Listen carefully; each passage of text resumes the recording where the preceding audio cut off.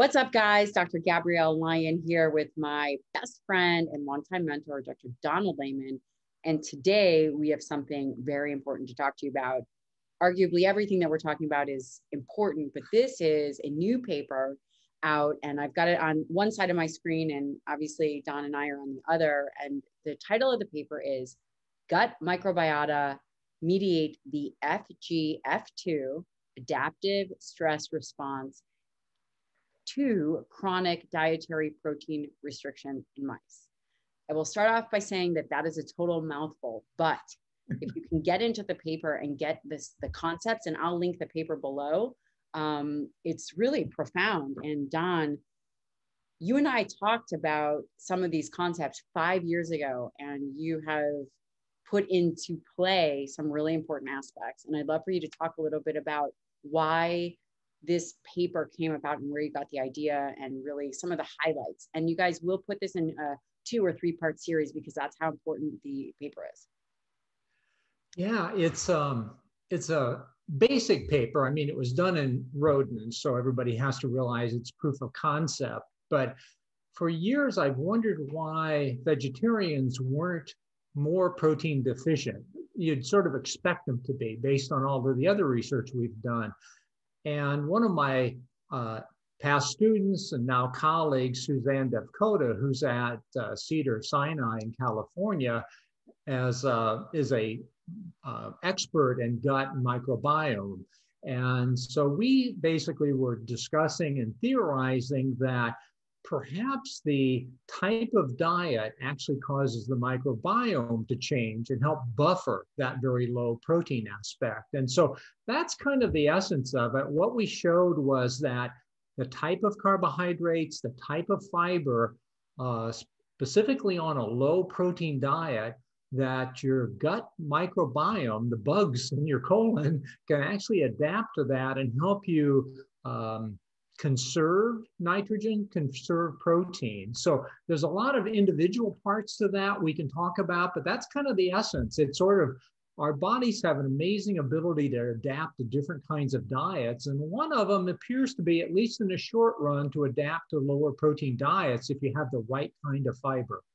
And that that's really interesting. So just to summarize what Don is saying is essentially this paper is a proof of concept and one, when one calls a paper basic, it really means basic science. So it's pretty heady, very technical, and that's what's considered the basic science. Not that the paper is basic. And right, I mean, yeah. when I when I did my fellowship, I was actually very confused by that because everyone, you know, in the meeting where it was talking about the basic science. And I'm thinking, oh my God, nothing in this room is basic. And now I can understand that. yeah, but, if you pick it up and try to read the paper, you'll learn right away what I yeah. mean by basics. No, it, it's very fundamental. right. Um, but this is a proof of concept paper. So it's not done in humans, it is done in rodents. And really that that's arguably the first step of determining if something kind of is viable if I'm not mistaken, is that it is done typically in rodent models. And what was so cool about this paper, and again, there's so many aspects to it, but in clinical practice, I see, and I don't see many, but over the years, I have seen some vegan and vegetarians really thrive in their diet choices. And Don and I would talk over the years, how is this possible? Because clearly we know that plant sources are deficient, you know, grossly deficient in, in many of the essential amino acids, but they seem to not have overt deficiencies. Yeah. You know, and there has to be a reason that we just didn't understand. And so what this proof of concept in part is showing is that actually the gut, and, and Don, please, the gut microbiome is actually um, breaking down in some way, right? The bacteria is actually sequestering or generating some of these amino acids. Is that accurate from what I'm reading from this? Yeah, paper? it's um, it's sort of developmental biology. A colleague and friend of mine, Steve Simpson in Australia, is sort of known for sort of evolutionary biology. Wrote a great paper known as the protein leverage hypothesis, and and one of the things that we've always thought about is the kind of carbohydrates and the carbohydrate protein ratios probably make a difference. And, and if you look at sort of evolution, one of the things we know is that ruminant animals cows and sheep and goats, uh, deer, uh, they have a gut that has bacteria in it that allows them to break down grasses and forages. And the bacteria actually then make essential amino acids. It's one of the reasons that cattle are so important in our food supply is because they help us balance the availability of essential amino acids. One of the things I'm sure nobody's ever thought about is ultimately where do essential amino acids come from? You say, well, they come from the grocery store or whatever, you right. know, Whole right. Foods, right? But right. Ultimately they have to come from somewhere. And the only where in the world, the only where in life that they come from is bacteria. So bacteria can make essential amino acids. So like they take nitrogen from the soil and fix it on the roots of plants and the plants can make amino acids. Um, unfortunately, plants are making them to make flowers and leaves and roots, which aren't exactly the same right. as brains and hearts. But a cow, a ruminant, can take it, and the bacteria there can take the grasses and things and make balance it out with the essential amino acids. So the whole theory sort of came from that. And we said, well, if we feed a higher fiber diet, more plant like things, you know, high quality vegetables and things like that, could we get the bacteria in a human gut to adapt to be a little bit more like a cow? and in, in fact, that's exactly what we found. We found species of bacteria that make amino acids would actually evolve. Gosh, so this, I mean, this really changes the paradigm of thinking. In it does. Of, you know, you know what I would emphasize to people though is that these were short-term experiments. Right. Um, and so you're still dependent on a nitrogen source.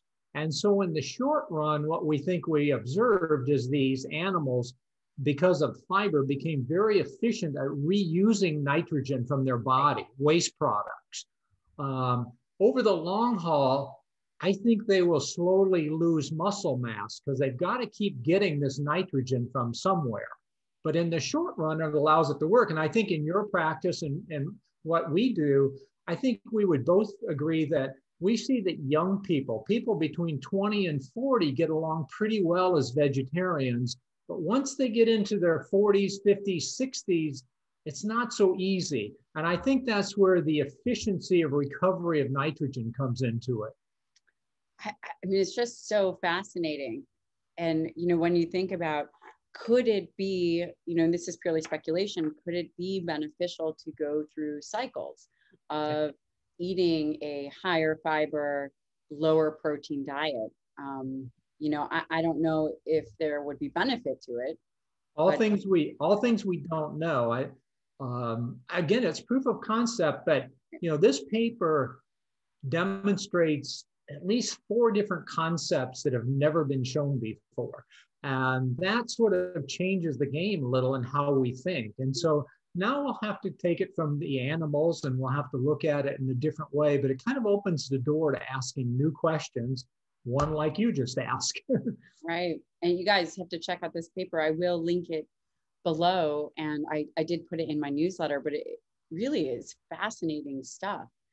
And I think, Don, that we should dive into some of the aspects of the paper and the hot topics or the hot points that are really just so profound. So yeah. I will stop the video here, you guys, just do a quick overview of it as you can see, and then I will incorporate a couple more so you guys can learn. Okay,